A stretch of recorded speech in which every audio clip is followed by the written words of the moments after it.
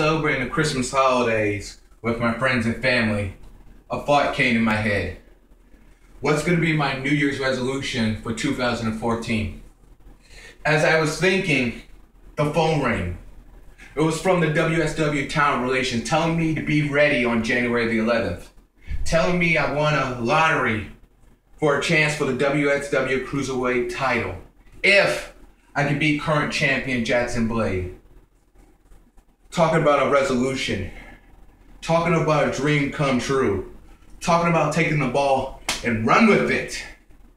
Come January the 11th, Jaxen Blade, there won't be no dream anymore. It will be for real. And I'm gonna start running now.